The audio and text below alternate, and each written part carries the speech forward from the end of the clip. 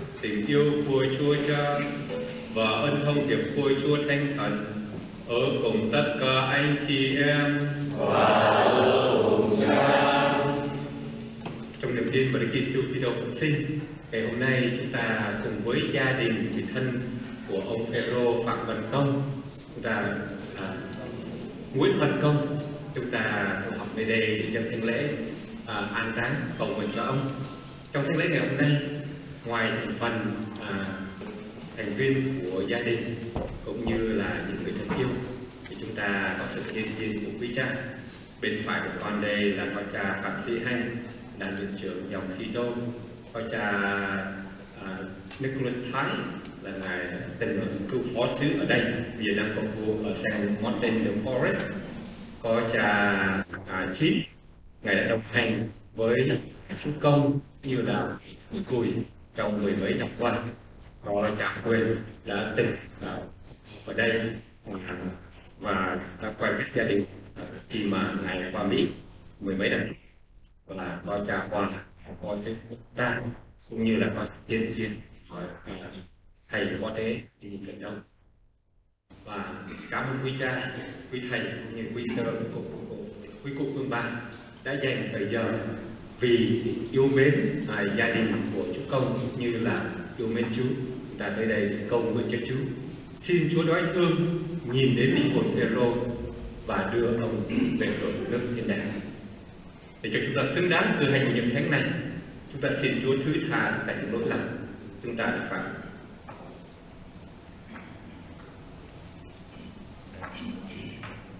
tôi thừa nhận cùng Thiên Chúa toàn năng.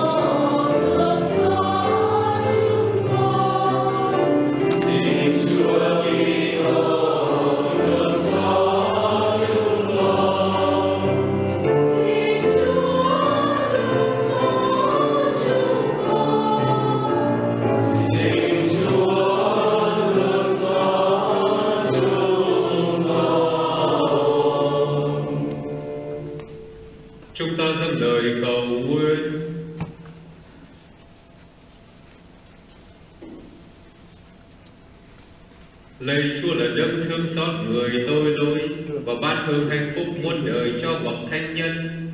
Ngày hôm nay chúng con tiến đưa ông Phêrô Nguyễn Văn Công đến nơi an nghỉ cuối cùng. Xin cho người con của Chúa đây ngay từ giờ phút này được chung phần vinh phúc với các người Chúa chọn, chờ đợi ngày thân xác phục sinh về quê trời hương nhân Thánh Chúa. Chúng con cầu xin nhờ dẫn Giêsu Kitô con Chúa là Thiên Chúa và là Chúa chúng con, người hằng sông và hiên tri cùng Chúa trong sự hiệp nhất vui Chúa Thánh Thần đến muôn đời.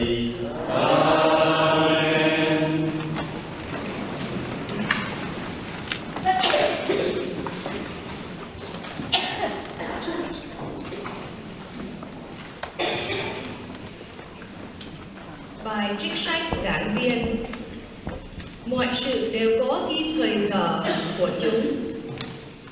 Vạn vật dưới bầu trời trải qua thời gian của chúng. Có thời gian sinh thì cũng có thời gian chết. Có thời gian trồng xuống thì cũng có thời gian nhổ lên cái đã trồng. Có thời gian giết chết thì cũng có thời gian chữa lành. Có thời gian phá hủy thì cũng có thời gian xây dựng có thời gian khóc lóc thì cũng có thời gian cười vui có thời gian than van thì cũng có thời gian nhảy múa có thời gian rải đá thì cũng có thời gian thu lượm lại có thời gian gần gũi thì cũng có thời gian xa cách có thời gian thơ hoạch thì cũng có thời gian tiêu tán đi. Có thời gian gìn giữ thì cũng có thời gian loại bỏ. Có thời gian xé rách thì cũng có thời gian vá lại. Có thời gian thinh lặng thì cũng có thời gian nói năng. Có thời gian yêu thương thì cũng có thời gian giận ghét có thời gian chinh chiến thì cũng có thời gian hòa bình. Con người còn được gì do công lao vất vả của mình? Tôi suy nghĩ về sự khổ cực mà thiên chúa đã để con cái loài người phải chịu đựng. Chúa tác tạo vạn vật trong thời gian chúa muốn và trao phó thế gian cho loài người tranh giành nhưng con người không hiểu được việc thiên chúa đã làm từ đầu đến cuối. Đó là lời chúa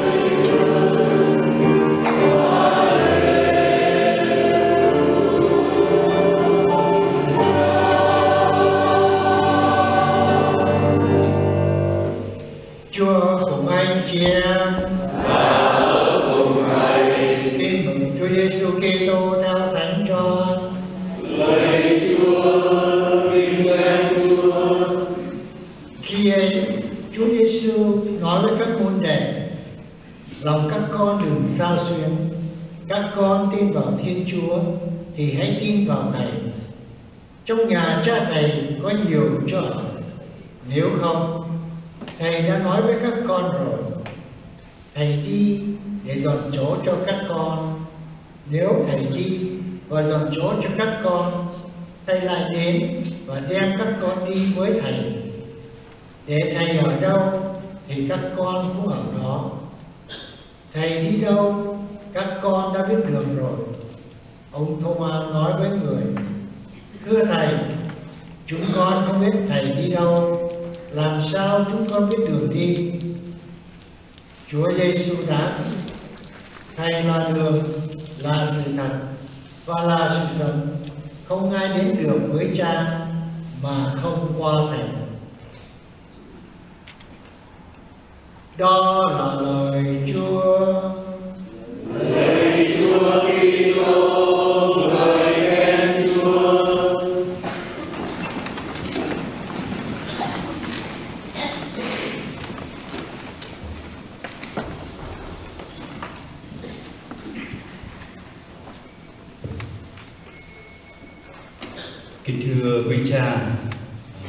16 Mỹ Sơn cũng như là Cộng đoàn Dân Chúa đặc biệt là Tam Quyến và những người thân của ông Phêrô Nguyễn Văn Công.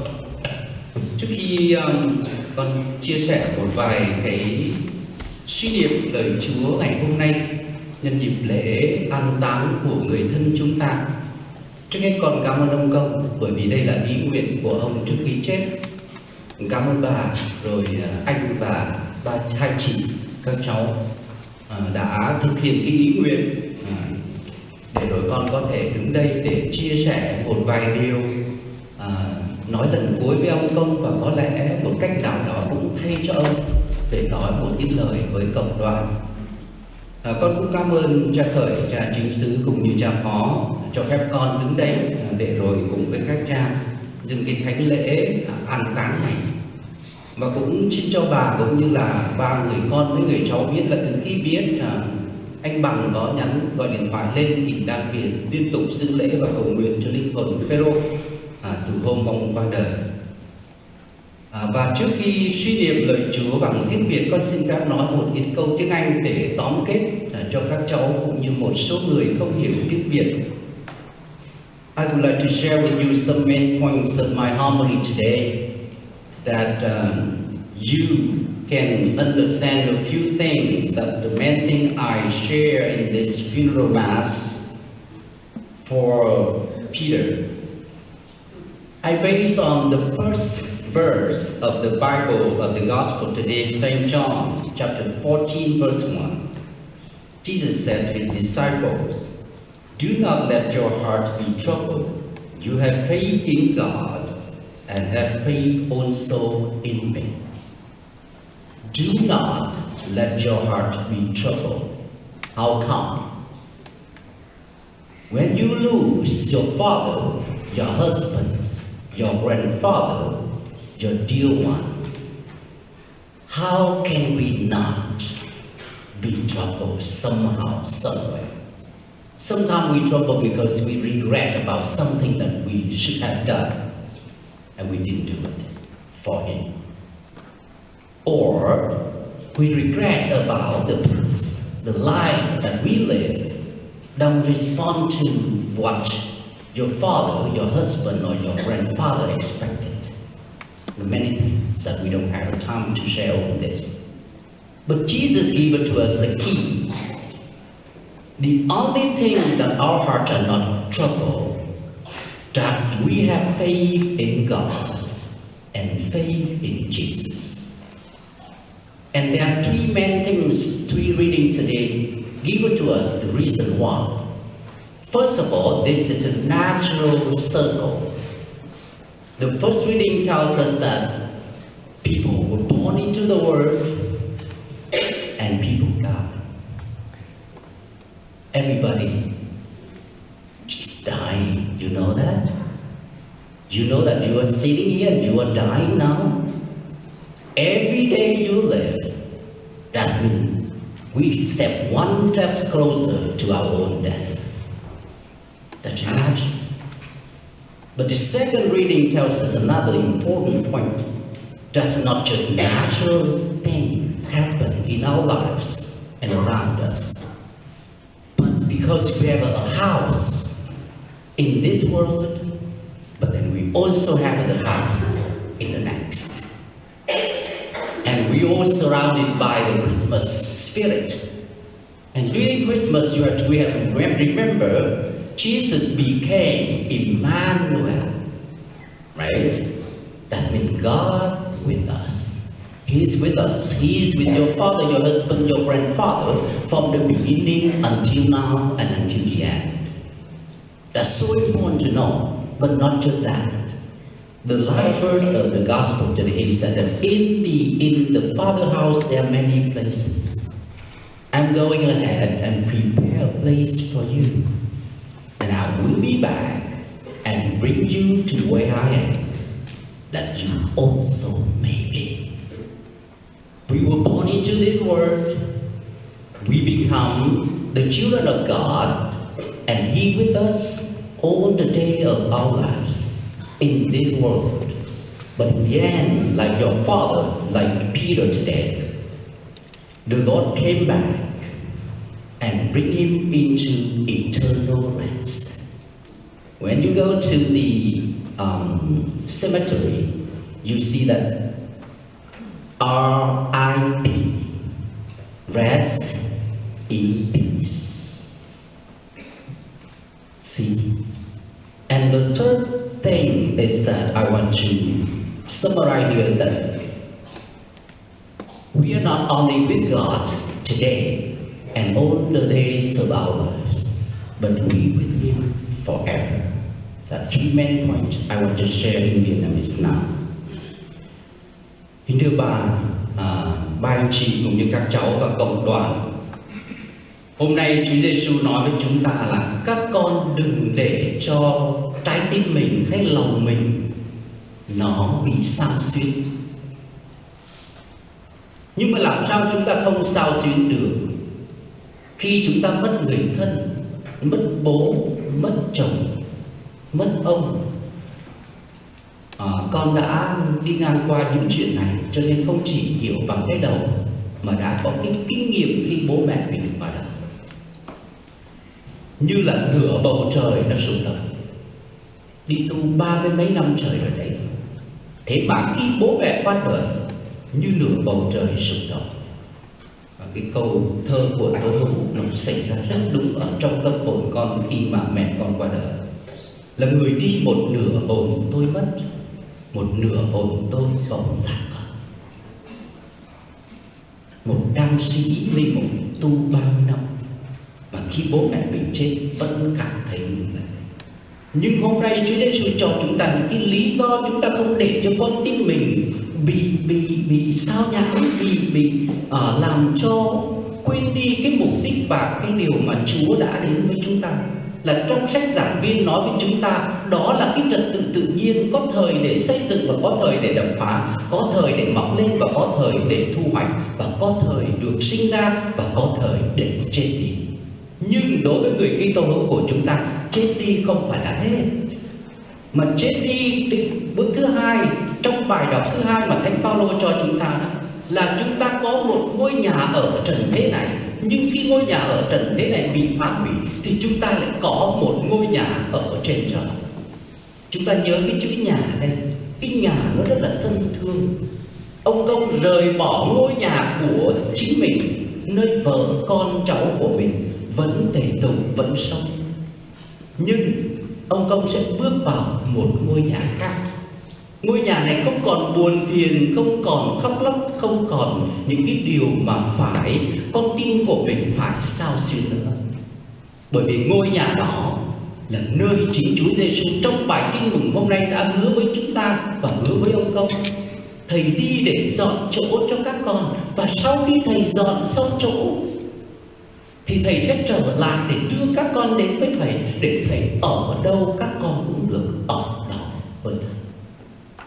Chúng ta thấy đức tin kỳ tội giáo của chúng ta quá tuyệt vời, là cái chết không dập tắt đi cái cái cái nguyền hy vọng của chúng ta và cái sự sống của đời này. Khi chúng ta mất nó đi là như Chúa Giêsu ngài nói, là chúng ta có một cái sự sống vĩnh cửu ở trên trời, mà trong nhà của Cha chúng ta là Thiên Chúa mà nơi đó chúng ta ở với Chúa Giêsu ở với Đức Mẹ với Thánh Thả Du Xe và với các thánh. Cho nên đây là một cái cơ hội để chúng ta tạ ơn. Và khi chúng ta nhìn lại nhìn lại cuộc đời của ông công đó, nếu mà ai đã từng biết ông công khi đi lên à, chúng ta để ý thấy một nhóm rất đông các anh chị ở trong hội bạn người mùi ông công đã bỏ ra ba chục năm để như theo cái trong cái ghi lại tiểu sử. Ông đã về lưu non để có thêm thời gian để phục vụ người cùi mà một điểm con không biết là con mới đọc đây thì mới thấy. Không có chỉ đơn giản là bởi vì thương cái người cùi họ xấu số, họ bị xã hội loại bỏ, mà bởi vì ông công làm điều này là để lòng tỏ lòng tạ ơn Chúa đã ban cho ông, cho bà, cho gia đình sau cái biến cố của 1975 It's even better when he did it because uh, he realized that he's grateful for all the things that he has received from God. Even better. And những người bạn người ngồi biết hơn ai hết. Ông công 30 năm ở trong trong cái hội bạn người ngồi đó. Một thời gian rất dài ông làm hội trưởng đúng không? Ông làm hội trưởng Chúng ta không ở đây để phong thánh ông công đâu. Nhưng mà chúng ta biết rằng một con người làm để tỏ lòng tạ ơn. Mà chúng ta biết bao nhiêu thế hệ Cách đây mới không lâu về với cô Phụng. Có hỏi cô Phụng là như vậy, Thì những người cùi ở Việt Nam bây giờ mà hội của chúng ta phục vụ đó Thật có bao nhiêu người? Thì tất cả những cái mà lâu nay phục vụ là 5 ngàn người, Khoảng đó Mà chúng ta thấy những ông công nằm xuống, Hội bạn người ngồi vẫn tiếp tục nó không có ends. This is not done business yet. Just yet. Cho nên khi chúng ta cái cuộc đời của ông không xem ra đối với con kính thưa bà và quý anh chị à, và người thân xem ra ông đã nếm cảm được cái tình Chúa và ông muốn làm một cái gì đó để chia sẻ cái tình nghĩa này cái tình Chúa và chính Chúa cho người khác thì đây quả là một cái hình ảnh và một cái tấm gương còn với quý anh chị thì tôi muốn nói điều này. Chắc chắn quý anh chị, tôi có đọc sơ qua những bài viết chưa đọc được và cả mấy cháu nó cũng viết nữa về ông của mình. Cái điều mà chúng ta có thể nếu gọi là cái legacy, thì cái legacy, if you want his legacy to continue, then follow his footsteps. Do what he did. Don't let your heart be troubled. Don't let the world pull you too far from the faith of the Catholic Church He tried to give it to you that best gifts ever because with faith, everything gone, you still have God. Without faith, and you look around in the church, the priests over the, the, the, the sanctuary, we are here because we know and we realize that did something great, not just for us, but for the people, for the, the list of the list. The lepers in Vietnam.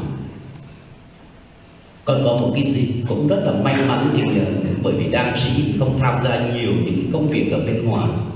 Thì có một năm đã tham dự cái đại hội của hội bạn người cổ và có một năm thì đi về Sài Gòn và gặp cùng đi với ông công và nhóm đi lên ở trên một cái trạm cùi ở trên bến sắn gì đó để đi thăm trực tiếp một lần. Và thấy rõ cái hy sinh của các hội bạn người cùi này. Các anh chị đã làm và đang làm những cái chuyện rất đáng giá. Tôi rất rất nể phục.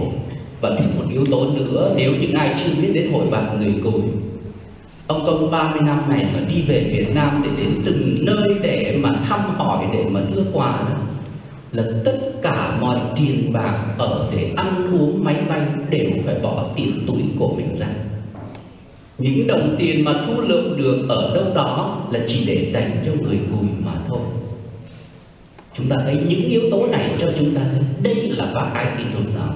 Cho nên khi chúng ta nói đến, ông phải cảm nhận được ông có một ngôi nhà, có một người cha đầy lòng nhân hậu và ông muốn chia sẻ cái điều đó và cuộc đời của ông, các anh chị, một điều nữa tôi cũng muốn chia sẻ với các anh chị. Trước hết là ông cũng đã sống một cuộc sống khá dài 83 năm. Nhưng mà that's not so important. Not how long he lived, but how he lived his life. Remember that for me. Not how long, of course, he isn't long enough. 82 years, not too short, right? We may not get there more important you remember how he lived his life, his vocation for family, for the church, and for the lepers This is more important. And cuối cùng, con xin đọc một cái bài thơ của nhà thơ Bùi Giang, gọi là Cát Bụi. Con muốn chia sẻ điều này nhưng thay cho ông công để nhắn gửi lại cho quý vị đặc biệt là những người bạn người cùi à, thân yêu của ông công để quý anh chị tiếp tục cái công việc này tiếp tục với cái tinh thần nào và với cái bầu khí nào ở trong gia đình của Thiên Chúa trong giáo hội. Bùi Giáng đã viết cái bài thơ này, con sẽ kết thúc bài chia sẻ của con sau bài thơ này. Bài thơ gọi là Cát bụi. Ta cứ tưởng trần gian là cõi thật, thế cho nên tất bật đến bây giờ.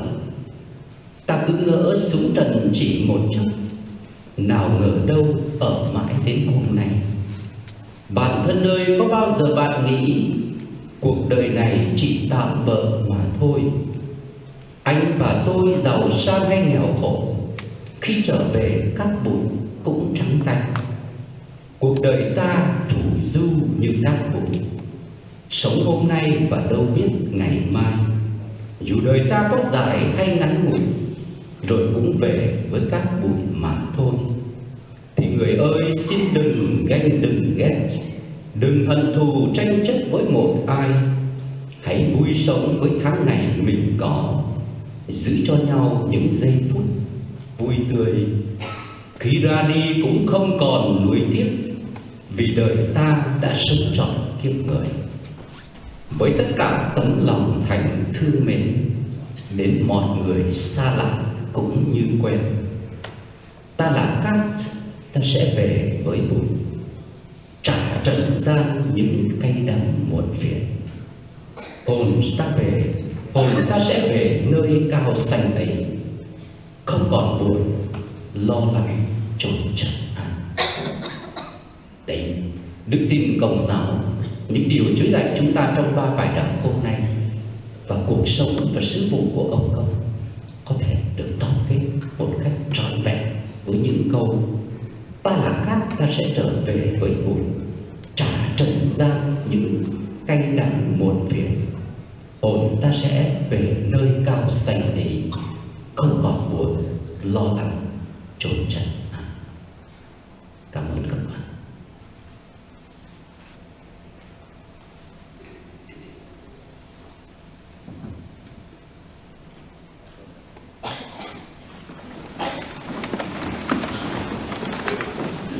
Và giờ đây chúng ta sẽ đến với những ý của chúng ta.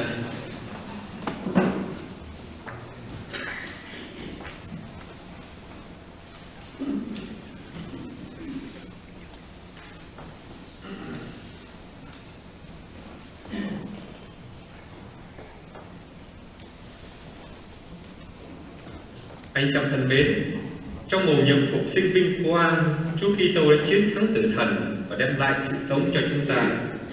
Với niềm tin tưởng chúng ta thành tâm dâng lên Chúa những lời nguyện xin. Lord, today we bid farewell to Peter, our beloved and faithful member of Jesus Christ in his church. We pray that the Holy Spirit will continue to bless our Holy Father, Pope Francis, all clergy, religious, and lay faithful, with great wisdom to guide us to the heavenly home of the eternal Father. We pray to the Lord. Lord, give God prayer. ai tin ta sẽ không phải chết đời đời. Chúng ta hiệp lời cầu xin cho Phêrô khi còn sống đã hết lòng tin yêu phụ sự Chúa, mà nay đã qua đời được vào hưởng niềm hạnh phúc nước trời. Chúng ta cầu xin Chúa. Xin Chúa sẽ lâu ôm hoài trọng nước mắt. Chúng ta hiệp lời cầu xin cho thân bằng quyến thuộc, tan gia chúng con, được Chúa thương, nâng đỡ và an ủi. Hầu biến đau khổ mất mát, thành của lễ đẹp lòng Chúa. Chúng ta cầu xin Chúa. Hãy ra đi để dọn chỗ cho các con. Chúng ta hiệp lời cầu xin cho giáo xứ chúng ta khi tiến đưa Phêrô về nhà Chúa, được luôn nhớ rằng quê hương chúng ta ở trên trời, để sống tin yêu phụng sự Chúa. Lạy Thiên Chúa tình yêu, trước bao nghĩa cử, yêu thương cao đẹp của ân nhân, mà tan ra chúng con không biết lấy gì để đền đáp. Xin Chúa gìn giữ và trả công bồi hậu cho họ. Chúng ta cầu xin Chúa.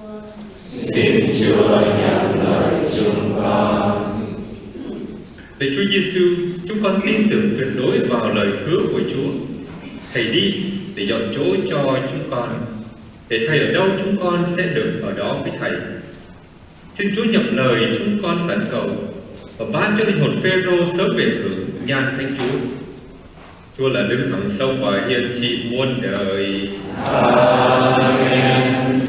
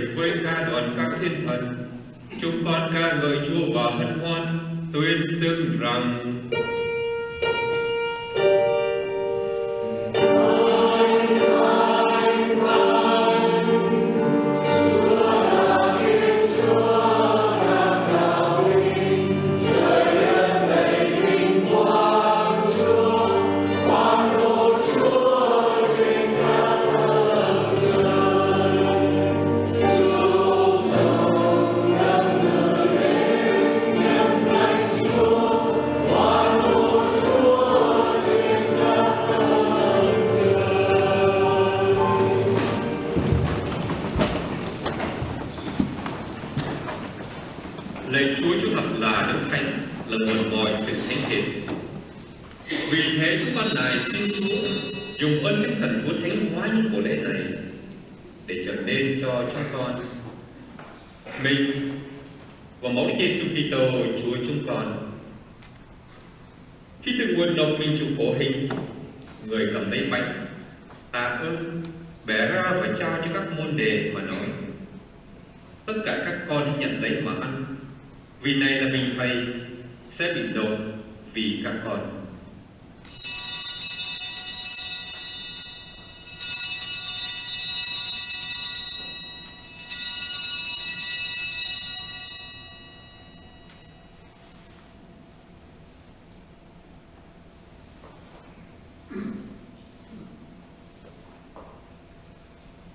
Cùng một thể thức ấy sau bữa ăn tối, Người cầm lấy chén cũng tạ ơn trao cho các môn đệ và nói. Tất cả các con hãy nhận lấy mà uống, vì này là chén máu thầy. Một dầu ước mới và vĩnh cửu sẽ đổ ra cho các con và nhiều người được tha tội. Các con hãy làm việc này mà nhờ để thầy.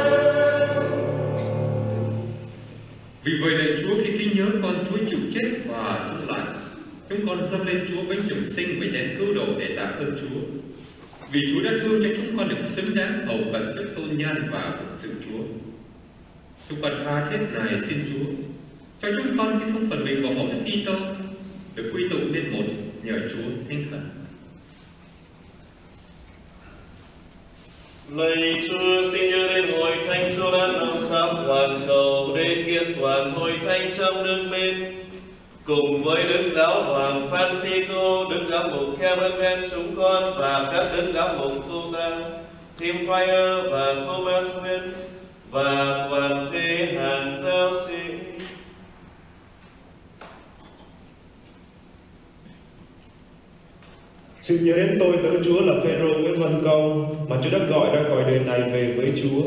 Xin ban cho kẻ đã chết như con Chúa thì cũng được sống lại như người.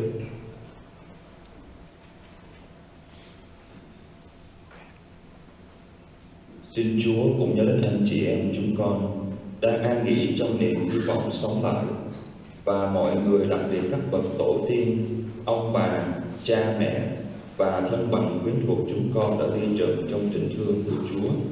Xin cho hết thảy được vào hưởng ánh sáng tôn nhan Chúa. Chúng con nài xin Chúa thương xót tất cả chúng con, cho chúng con được đồng hưởng sự sống đời đời. Cùng với Đức Trinh Nữ Maria Mẹ Thiên Chúa, Thánh Giuse vạn trăm năm Trinh Nữ, các thánh tông đồ và toàn thể các thánh đã sống đẹp lòng Chúa qua mọi thời đại và cùng với các ngài chúng con được ca ngợi và tôn vinh Chúa nhờ Đức Giêsu Kitô con Chúa.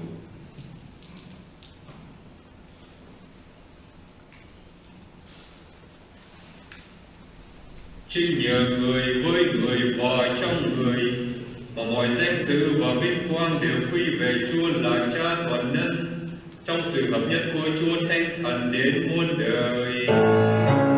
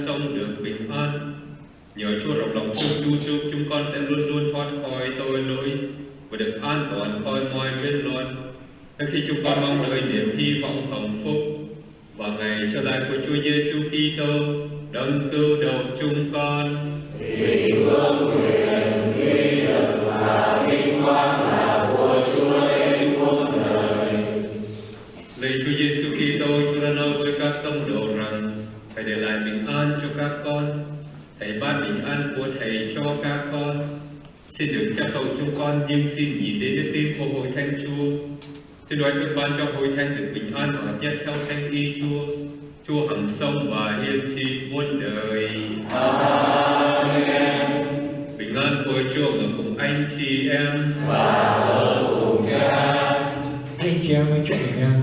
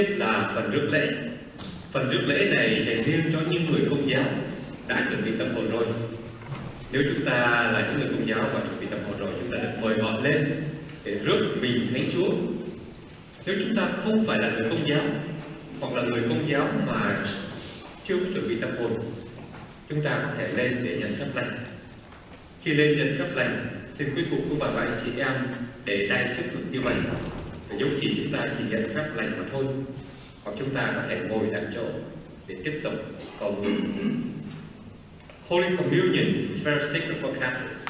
For those of you who are Catholic and practicing the faith and are to receive communion, you are invited to come forward to receive the body of Christ. For those of you who are not of the Catholic faith or who are Catholic but are not disposed to receive communion, you are most welcome to come forward to receive a blessing. And please do so by crossing your hands over your shoulders like this, as an indication you will receive a blessing only.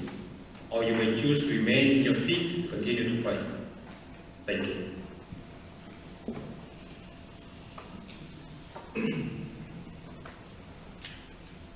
Chúa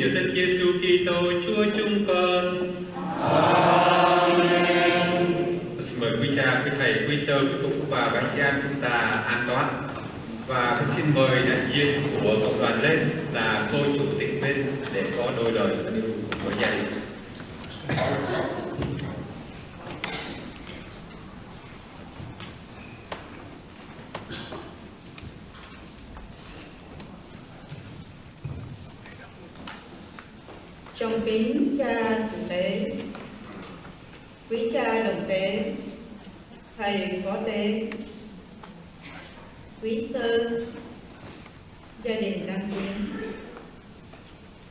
quý vị quan khách xa gần quý anh chị trong hội bạn về mùa, ông quý ông bà và anh chị em.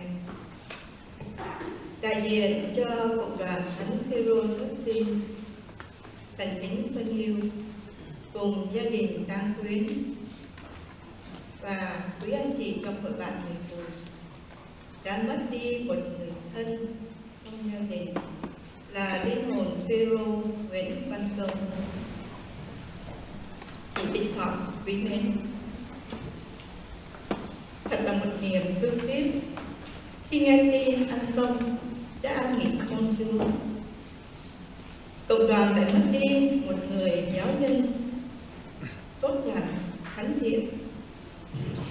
Anh đã gắn bó và đóng góp cho cộng đoàn trong rất nhiều năm qua. Không những thế, hội bạn người Cùi cũng mất đi một thành viên phục vụ rất là đắc lực. Một tên gọi của hội mà bây giờ không còn xa lạ với đồng hương tại Việt Nam, cũng như tại hải ngoại, nơi có cộng đồng Việt Nam sinh sống. Đời người sinh lão bệnh tử và người ai cũng phải trải qua. Với đức tin của người khi tôi hiểu sự chết này, thì thay đổi mà không mất đi sự ra đi của anh công là một điều rất là đau buồn anh là một tấm gương sáng đạo đức trong đời sống phục vụ cho những người tha nhân. Anh có một tâm hồn quảng đại, một trái tim nhân hậu, đã đem tình thương, niềm vui đến cho những người bệnh không cùi tại Việt Nam để họ tìm được những ngày hạnh phúc, ấm no bơi đi những nỗi niềm bất hạnh. Những công sức của anh đã làm giờ đây không thể kể. Chúa là người sẽ thưởng công cho anh. Và trong mọi việc làm, anh luôn tự hào có một người vợ đứng sau lưng, luôn âm thầm hy sinh, ủng hộ và cầu nguyện đó là động lực giúp cho anh được phấn đấu trong tinh thần phục vụ không mệt mỏi trong suốt 30 năm qua và đem lại những danh thơm tiếng tốt cho hội bạn người Mùi đến ngày hôm nay. Nguyện xin tình yêu của Chúa Giáng sinh ban nhiều ân sủng và bình an thêm sức mạnh cho gia đình Tăng Quyến trong lúc đau buồn này và sớm đưa linh hồn Phêrô mau về hưởng hạnh phúc trên thiên đàng. Thứ bảy tuần này, cộng đoàn có thánh lễ vào lúc 6 giờ chiều. Kính mời gia đình đang quyến và thân bằng quyến thuộc đến tham dự thánh lễ và cầu nguyện cho linh hồn Phêrô Nguyễn Hữu Tông mau được về hưởng ngang Thánh Chúa. Một lần nữa, đại diện cho cộng đoàn Austin, khẩn kính thân yêu đến gia đình tang quyến và xin chia những nghĩa cử cao đẹp của anh Tông và quý anh chị trong hội bạn người đã làm vì tình thương và lòng bác ái để cảm tạ ơn Chúa, tạ ơn trên người bệnh cương hữu.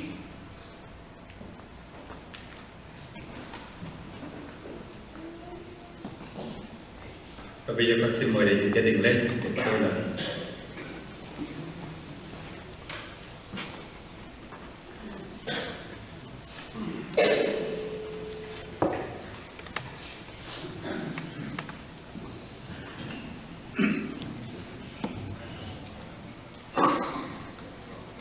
Dear fathers, deacon, sisters, Saint Cecilia Vietnamese leadership, Saint Cecilia Parish congregation, and choir. Thank you for the beautiful service and Mass and for hosting our family, friends, and loved ones as we remember and pray for our father, Van Nguyen.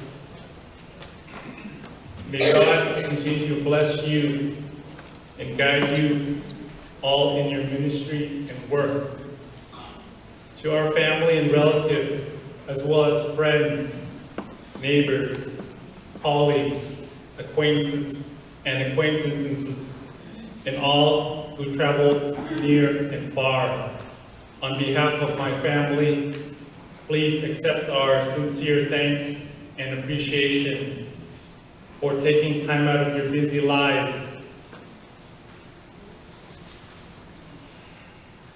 to pay your final respects to our father. Thank you for coming to the funeral today and supporting our family in our time of sorrow and grief. To know how greatly loved and missed our father will be brings us comfort and the inner strength to carry on. We are deeply touched by the outpouring of kindness and compassion. We appreciate all of you and especially want to thank Uncle Bang, Uncle An for all the time, energy, and efforts in helping us make these funeral arrangements and services.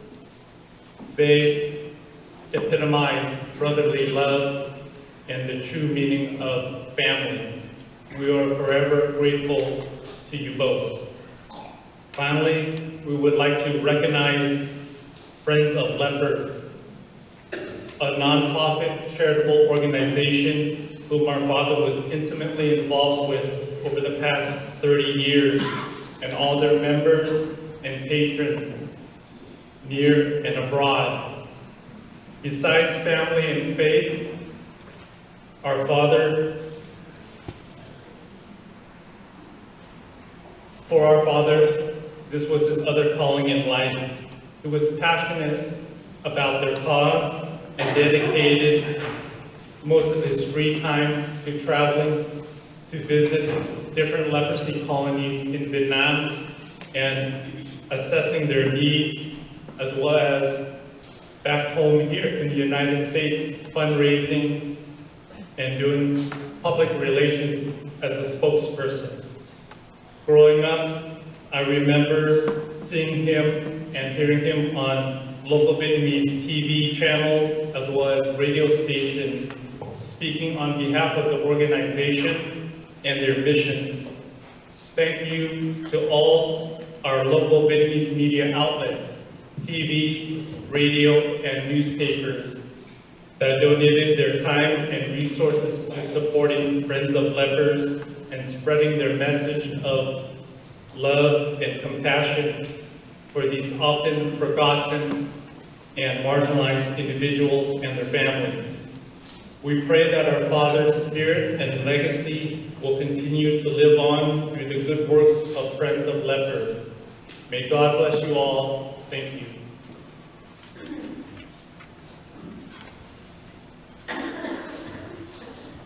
trong tâm tình cảm mến và tri ân, con xin đại diện gia đình chúng con xin chân thành cảm tạ đức tổng giám mục du xe nguyễn chí linh và tòa giám mục thuộc giáo phận huế tổng giám mục huế cha chủ tế phan tấn khởi cha quản nhiệm cộng đoàn tước tin cha tôn sĩ hanh phạm sĩ phạm sĩ hanh về trên dòng đan việt sĩ tô thánh như xe cha đặng văn tín đầu à, là cha linh hướng của hội bạn người cùi cha trần xuân hòa phó cộng đoàn tước tin cha nicolas, thái, cộng đoàn martin de Pore cha trương trương quyền thuộc nhà thờ chính tòa Chúa Kitô, thầy Sáu Đông, quý sơ dòng mến thánh giá cái ơn dòng mến thánh giá Los Angeles và bà chủ tịch cộng đoàn tất tiên cùng ban chấp hành cộng đoàn ca đoàn Senshira Church ban giáo lý cộng đoàn Cơ tiên phong trào Coacholo giáo phận Orange và liên nhóm Coacholo Cơ tiên hội bàn người vui đồng hương miếu giác các cơ quan báo chí truyền thanh và truyền hình.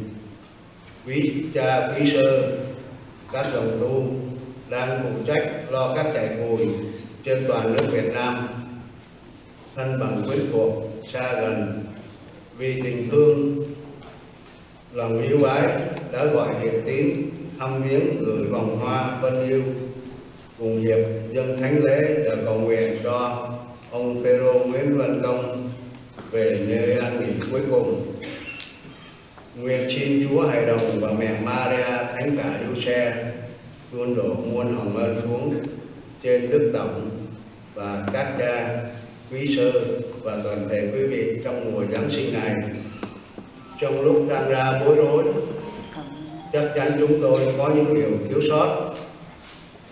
Kính xin quý cha, quý vị niềm tình tha thứ đang gia chúng con đồng bái tạ và tiếp sau đây chúng con mời quý cha thích cộng đoàn dân chúa xem một đoạn video ngắn để tưởng nhớ đến ông Phêrô Nguyễn Văn Công trên màn ảnh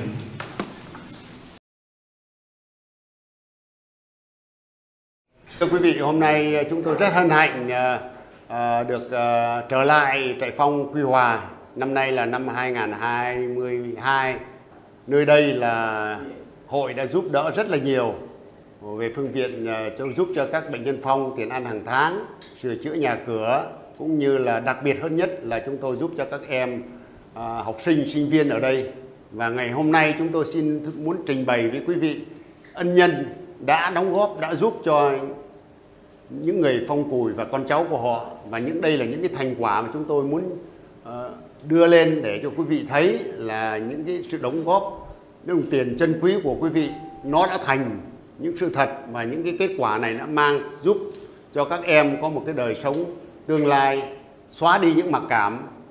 Nguồn gốc là mình là con cháu người phong cùi. Thì hôm nay chúng tôi được ờ, xin trình bày và xin giới thiệu đến quý vị ờ, những em mà đã học thành tài nhờ cũng như các em đang học. Và trước hết thì chúng tôi xin ờ, gửi lời chào đến sơ bề trên của cộng đoàn uh, Thánh uh, Vinh Sơn Phan Sinh Từ Sai uh, là sơ Mỹ Dung thì xin gửi lời chào đến sơ và chào đến tất cả các em. Xin tạ ơn trên người vẫn thương người. Nghe các sơ nói là có những quý vị cầu nguyện xin lễ cho tôi để ngày nay tôi có đứng ở đây được. Tôi bị ung thư năm 2019 để năm 20 thì tôi chữa hết bệnh. 2021 phục hồi 2022 thì có mặt ở đây. Đến để cảm ơn quý vị, ông bà, anh, bà con cô bác đã nghe tin và cầu nguyện cho tôi được khỏi nhận này. Thì tôi xin hết lòng cảm ơn quý vị đồng hành với hội hội bạn Nguyễn Phong bạn mà quý vị là bạn của chúng tôi chúng tôi là bạn của quý vị à, thì là tất cả đều là trong một gia đình. Trong một gia đình thì hôm nay tôi xin cảm ơn và cũng đến để thăm hỏi và gửi lời à, chúc sức khỏe đến mọi người. Yêu thương nhau sống à, vui vẻ với nhau. Và mong rằng à, mọi người không vẫn còn à, tồn tại để mà tiếp tục giúp đỡ. À, hội bạn người cùi làm theo luật của Hoa Kỳ, Mỹ. Tất cả những sự chuyển tiền về cho các trại phong khắp nước Việt Nam là chúng tôi đi qua hệ thống nhà băng Mỹ, từ nhà băng Mỹ chuyển vào các tài khoản của các sơ và các sơ sẽ lấy tiền trao lại cho các bệnh nhân phong. Thì hàng năm hội người cùi vẫn phải khai thuế với chính phủ Mỹ để họ biết cái số tiền một năm xin được bao nhiêu, gửi đi những nơi nào và để cho họ kiểm soát.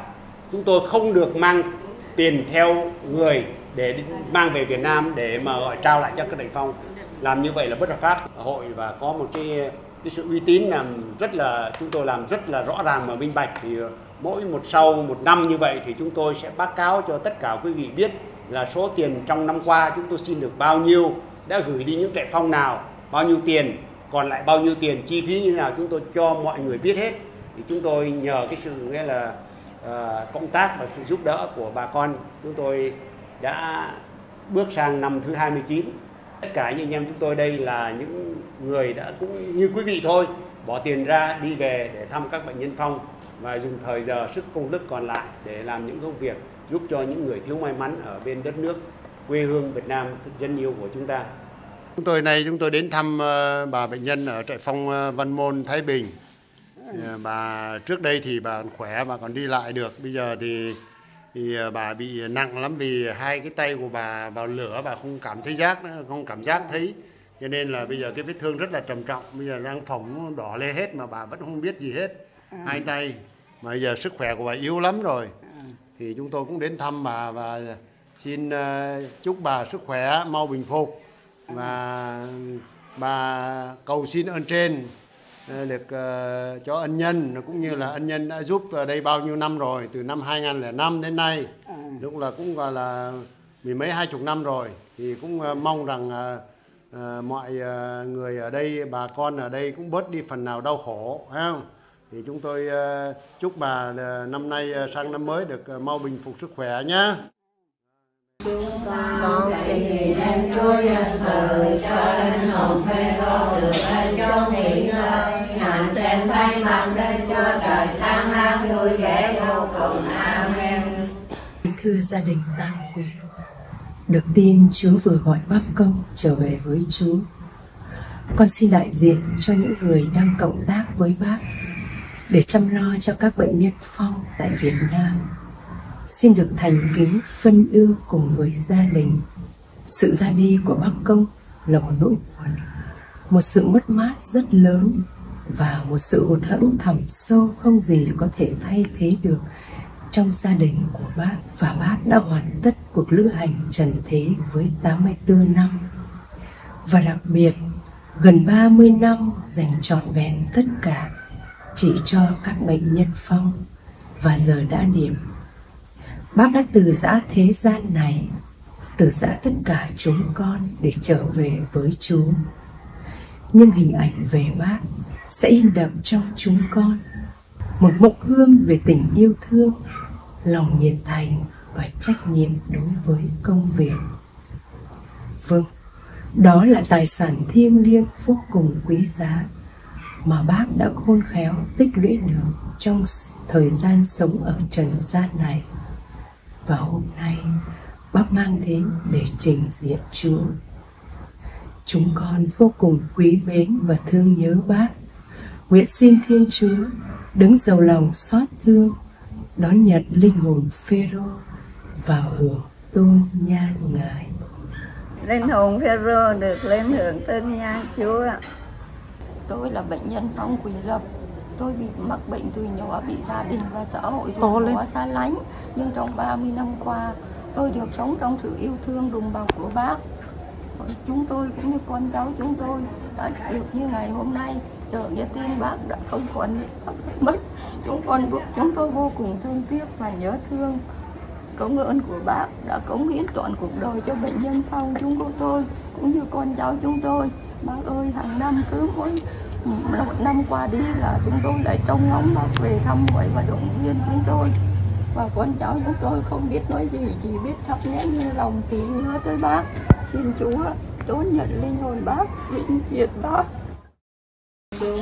Con trình nguyện em Chúa nhân từ cho linh hồn Phêrô được an trong nghỉ ngơi. Ngàn xem thay mặt lên cho trời sáng lang vui vẻ vô cùng. Amen. À, tôi xin đại diện cho bà con bệnh nhân phong ở Bến Sắn, Bình Dương. À, nghe tin chú Công lỡ qua đời, chúng tôi hết sức đau buồn và thương tiếc vì một cái người cây cột trụ của người bệnh phong chúng tôi không còn ai để mà cung cấp tiền bạc giúp đỡ cho chúng tôi trong cái thời gian sắp tới. Chúng tôi xin chân thành cầu nguyện ơn trên ban phước lành cho tất cả gia đình của chú Công dồi dào sức khỏe và được an con trình nguyện em Chúa nhân từ cho linh hồn Phêrô được an trong nghỉ ngơi ngàn xem thay mặt lên cho trời sáng lang vui vẻ vô cùng amen Con là nữ tu Agnes Phụng dòng bánh thánh giá cái mơn. Ngày 15 tháng 12, hội dòng của chúng con nhận được tin buồn từ hội bạn người Cùi. Anh Phêrô Công vừa mới qua đời. Chúng con được biết đến hội bạn người Cùi nhờ vào việc mà chúng con chăm sóc cho các bệnh nhân phong cùi ở ba tỉnh Vĩnh Long, Bến Tre và Trà Vinh.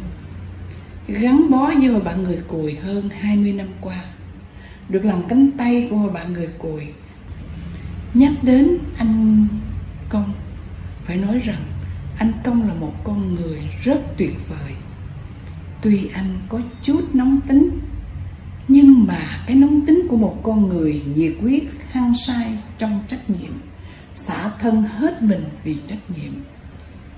Dạ gọi anh công là một con người tuyệt vời, vì chúng con nhận thấy hiếm có một con người có trái tim quảng đại và tấm lòng nhiệt thành dấn thân phục vụ như anh công. Thưa anh công, kể từ ngày hôm nay và mãi mãi anh sẽ không còn đồng hành với các anh chị trong hội bạn người cùi để bay về Việt Nam, để đến những trại phong, để lội vào vùng sâu, vùng xa, nơi đó có bao nhiêu người phong cùi đang chờ đợi anh và hội. Họ mong chờ anh và hội về với họ để họ được yên ủi, họ được yêu thương.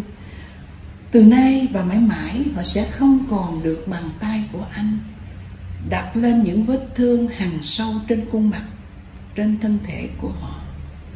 Từ hôm nay và mãi mãi, những người bệnh nhân phong cùi không còn được nghe tiếng an ủi, vỗ về của anh nữa.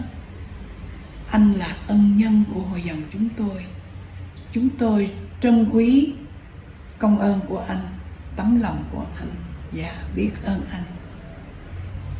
Ngày hôm nay anh nằm bất động trong cổ quan tài này, trong ngôi nguyện đường này. Giữa những người thân yêu, giữa những bạn bè, mọi người thân yêu thương tiếc anh. Các bệnh nhân phong, những người nghèo thương tiếc anh. Hội dòng anh thánh giá cái mơn của chúng tôi vô cùng thương tiếc anh công vĩnh biệt anh. Anh chị em thân mến sau khi tin tưởng cầu nguyện cho linh hồn Phêrô công, giờ đây chúng ta nói đến lời từ biệt cuối cùng.